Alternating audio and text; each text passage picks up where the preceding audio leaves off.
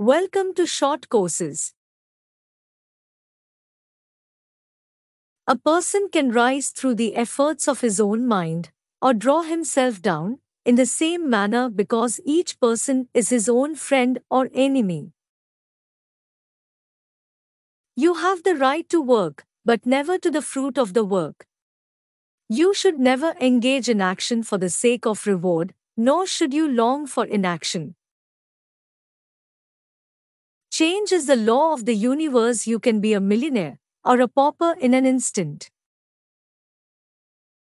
For one who has conquered his mind, a mind is best of friends, but for one who has failed to do so, a mind is the greatest enemy. When meditation is mastered, the mind is unwavering like the flame of a lamp in a windless place.